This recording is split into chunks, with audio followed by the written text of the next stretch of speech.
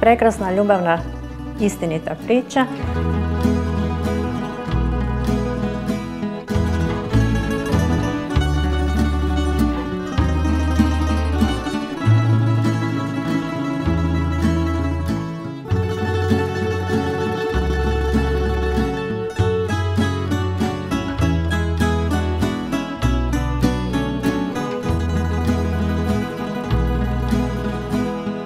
To je bila ljubav na prvi pogled.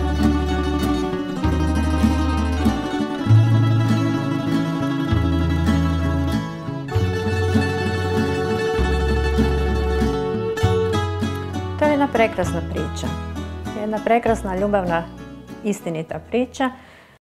Evo ovako, zapravo moramo se malo vratiti u Augustovu prošlost, u Beč, kada je on, nakon što je, nakon studija u Pragu, e, došao je živjeti u Beč i tu je upoznao mnoge studente iz Zagreba, iz cijele Hrvatske koji su u Beču studirali. Među njima bio je Đuro, plemeniti leder, e, s kojim se sprijateljio i kojemu je puno pričao o Turopolju, o Velikoj Gorici, o političkim prilikama u to vrijeme u Velikoj Gorici. August se jako zainteresirao kako su ga te priče uvijek zanimale. I on je na temelju tih priča napisao svoju pripovjetku Turopoljski top. E, to se sve događalo jedno tri godine prije nego što su se Slava i August upoznali. Upoznali su se tako da je bio priređen bal u Velikoj Gorici 31. siječnja 1867. godine na koji je Đuro plemeniti leder pozvao svog prijatelja Augusta i društva iz Zagreba da dođu na taj bal.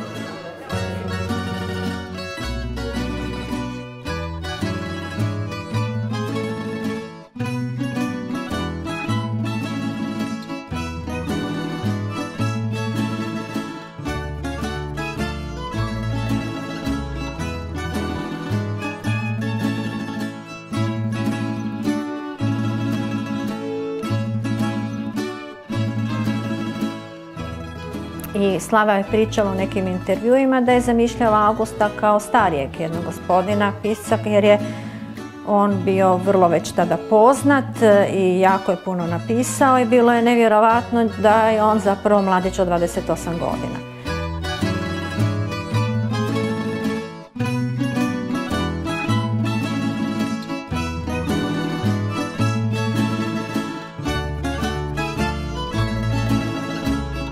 Kada je August došao na taj bal, već je on bio u tijeku, on je došao s prijateljima.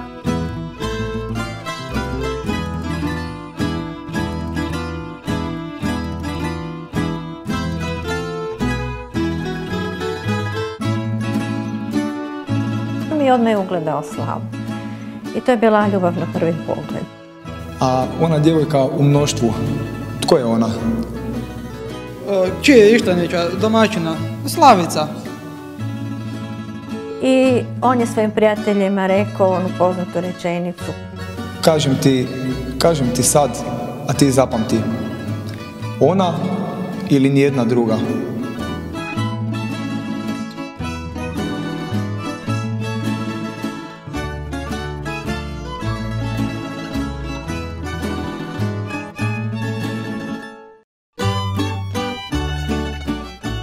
Zanimljiva e, priča koju on često pričao, kako ih je vez povezala slika stare ružne babe, je bio kotiljonski ples i Slava je e, kotiljonski red stavila Augustu, a to su one male poklonići koji se daju. Taj prvi poklon koji je August dobio od Slave, to je bila slika stare grde babe koju je ona njemu stavila kada su oni zaplesali.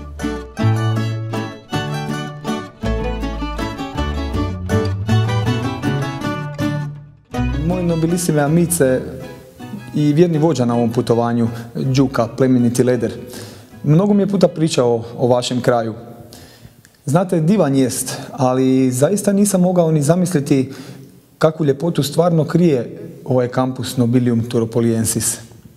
A i nije puno pogriješio kad je rekao da nisu samo zagrebački balovi stjecište lijepih dama. Mislim da gospodin poeta ipak malo pretjeruju. Nimalo, plemenita milostiva Ištvanić. Meni je izuzetna čast biti danas ovdje s vama, naročito u ovako ugodnom društvu. Ištvanići su počašćeni, kaj su od znamenitog hrvatskog spisatelja i poete za sve vijeke proslavljeni u Toropojskom utopu. Znate, moram vam priznati kako moj otac redovito kupuje pozor, ja rado vaše feljtone čitam. Milostiva, znate da ja nisam naviknut na ovakvo laskanje. Pa vi ste moj pravi obožavatelj. A znate, vaš otac otkrio mi je malu tajnu. Ah, pa pa, nemojte njegove hvale uzimati tako olako, ponekad zaista pretjeruju. Nikako, ali ovaj puta se iskreno nadam e, da to nije u pitanju. Vaš otac, Đuro Plemeniti Ištvanić, e, otkrio mi je kako ste prije mog dolaska izvadili felton koji sam napisao nakon posjeta balu u Samoboru. Istina, na kom se, kako ste napisali, silno šopčarilo. Pa i sami ste se narugali samoborskim ljepoticama i kazali kako vam se činilo da ste na teutonski vašar negdje u Salzburgu ili Bavarskoj, a ne u Pitom i Samobor došli. Milostiva Ištvanić, nisam mogao ni zamisliti da će moj ondašnji ogorčeni Felton naići na tako ljubokog štovatelja. Smijem li? I nakon toga počinje njihova ljubavna priča. E, njihova pisma koja su putovala kočijom poštanskom na relaciji Zagreb-Velika Gorica. To su pisma prepuna ljubavi. E, tu nema Augusta kojeg mi poznamo iz njegovih dijela. Tu je jedan zaljubljeni mladić koji vrlo lijepim riječima izražava ljubav svojoj zabranici. Vrlo brzo je August obavio razgovor sa Slavinim ocem jer je ona zamolila da to napravi za nju jer nije htjela uh, ocu iza leđa se dopisivati s njim. I sve je bilo u redu. Đuro je došao u Zagreb, posjetio je Augusta. Oni su se svidjeli jedan drugom na prvi pogled i međutim dozvolio tek zaruke za uskrste godine i zamolio Augusta da sad nađe neki ozbiljniji posao od koga može raditi, uzdržavati obitelju svog buduću.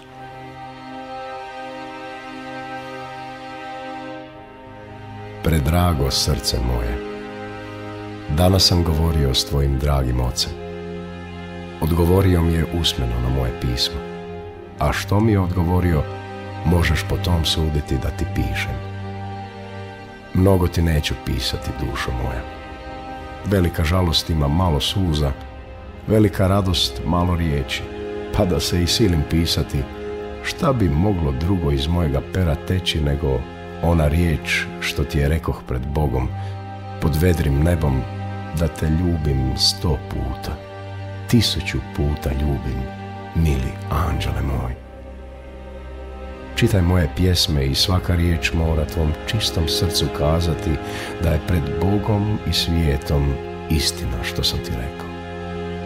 Pjevati može pjesnik uvijek, ali istinski o ljubavi može samo onda pjevati kad istinski ljubi.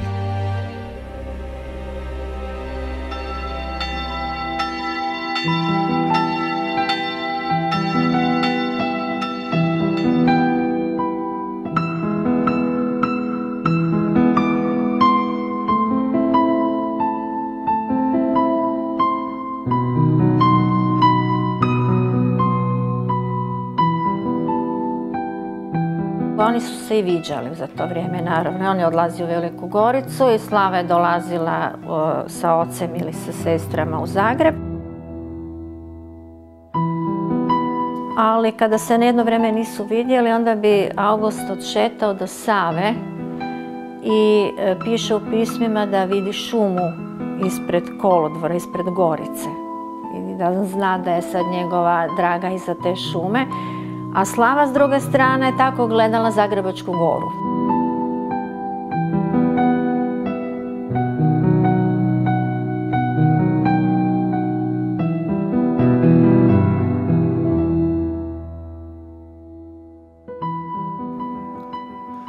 Premila moja Slavice, ti si moj anđeo koji me svugdje prati. Iako naporno radim, nikad mi navečer nije teško sjesti za stol i napisati ti pismo. Jučer sam napisao pjesmu za tebe i želim ti je danas izreći. Gudalo mi pozaspalo, dugo, dugo, dugo nisam, nisam pjevao. Kad, al čuda, sve od sebe zazvonile žice evo. Probudi ih slatko ime, šapčuć srcu sreću novu, ko što laki vjetrić budi milu harfu eolovu. Duša mi se krilih zvijezdam, srce burno poigrava, jedna riječ su sve mi pjesme, a ta slatka riječ je slava.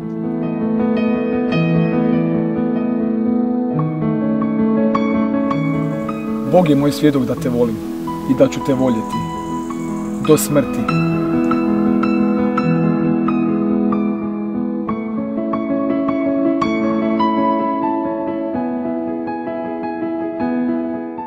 Zaručili su se te godine za Uskrs i tada je nastala pjesma Augustova Uskrsu. A onda e, je on tek kada je nakon godinu dana u ožiku 868. godine dobio posao gradskog bilježnika, e, Đuro Ištvanić pristao na svadbu, na vjenčanje i ono se održalo 20. lipnja 1868. u Velikoj Gorici u crkvi Svete e, Majke Bože Snježne.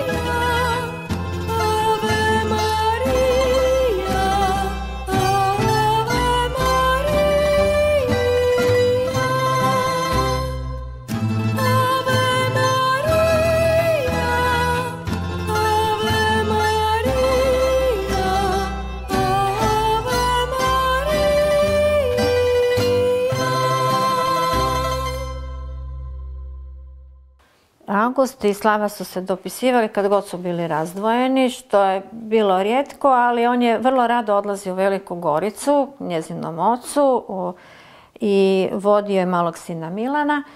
A ovo je pismo e, iz 872. godine kada je on upravo u Velikoj Gorici i piše Slavi u Zagreb. Ona je ostala u Zagrebu sa malom bebom, kćerkicom Dragom, a on je s Milanom u Velikoj Gorici. I predivno je pismo, a između ostalog je vrlo zanimljivo, molio da po bratu Mirku pošalje mu šešir njegov stari jer je otišao sa cilindrom i vruće mu je u Gorici, a ne želi izaći na cestu da nema ništa na glavi. I prekrasno završava. S njim je Milan koji je tada ima dvije ili tri godine, pa August u njegovo ime piše mami i kaže Draga mamice, tvoj dripiša, dripeša pozdravlja i ljubite milion put, a i Dadulu, malu čerkicu Dragu, nju su odmila zvali Dadula, e, i kaže, jučer sam pao u Kurilovcu i imam na čelu rog, a sada delam gibanicu. August je počeo pisati tek kad je obitelj zaspala. Do tada, kada bi konačno došao na večer kući, posvetio se djeci. Bio je vrlo brižan i muž i otac. A kaj pišeš? Pišem pismo dragom prijatelju. A kome? Đuki Lederu. E, Slava ga je vrlo često pred jutro našla kako drijema za ovim stolom, jer on je znao pisajući zaspati, nije imao više snage se vratiti u krevet. Tako da ga je ona znala probuditi i on je malo tako drijemao i išao ujutro odmah u magistrat na posao. E, S vremenom je mislio da bi mogao nešto postići u politici i nakon pada Bahovog apsolutizma, kada su bili prvi izbori za Hrvatski sabor, e, evo dao se nagovoriti, a i sam je smatrao da bi mogao nešto učiniti i on se kandidirao za narodnog zastupnika Narodne stranke iz Velike Gorice. Međutim, tu nije prošao slavno. Naime,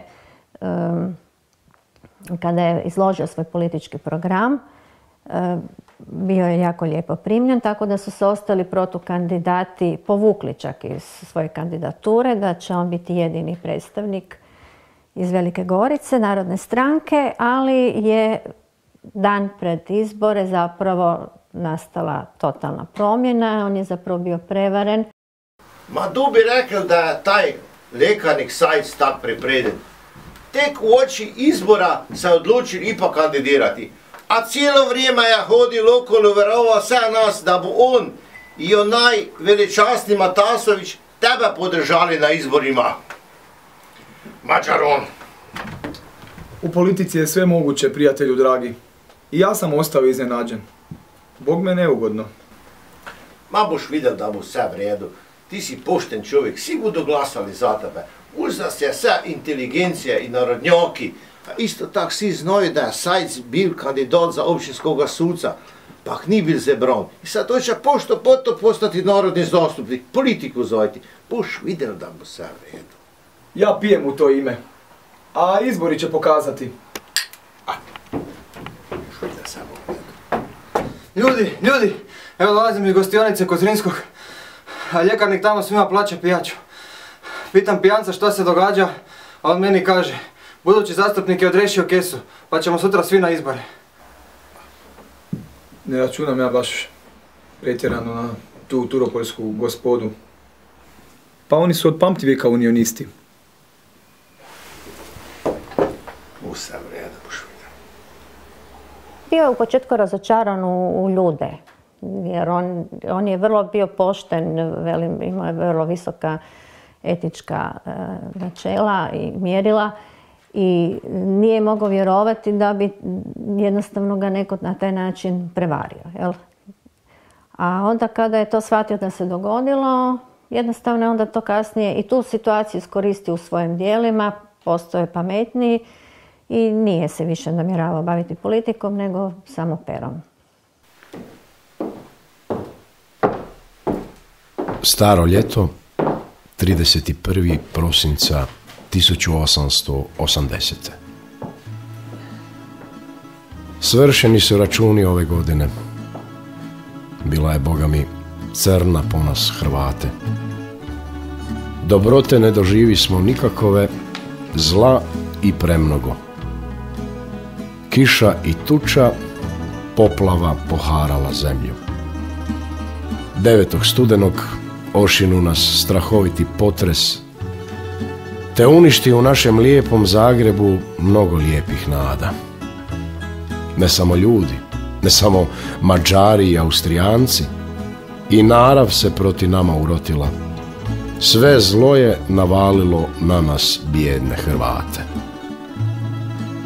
Hoće li biti bolje? Mora jedan put. Ta gore ne može biti nego što je sada da se ta crna godina i ljuto završi, padala je danas u Zagrebu tuča. Vrijeme je toplo, vlažno kao u proljeće, snijegu ni traga. Mi stojimo moralno i materijalno u blatu. Hoće li Bog tome bijednom narodu ikada pomoći? Upitah se često ovih zadnjih dana godine. Čovjek gotovo da zdvoji. Toliko se pojavilo kod nas kukavica, toliko ništarija i propalica, toliko ima lopovštine da te groza hvata. Poštenje, dosljednost, karakter, dan danas su kod nas gotovo suvišni pojavi. Njegova bolest je onako bila progresivna, znači iz jedne prehlade pa navodno upale pluća. Tek par dana pred smrt e, rekao je prijateljima da mu nije dobro i da će umrijeti, da mu ne daju umrijeti, da on još ima jako puno toga za napraviti. Međutim, eto, bolest je bila jača.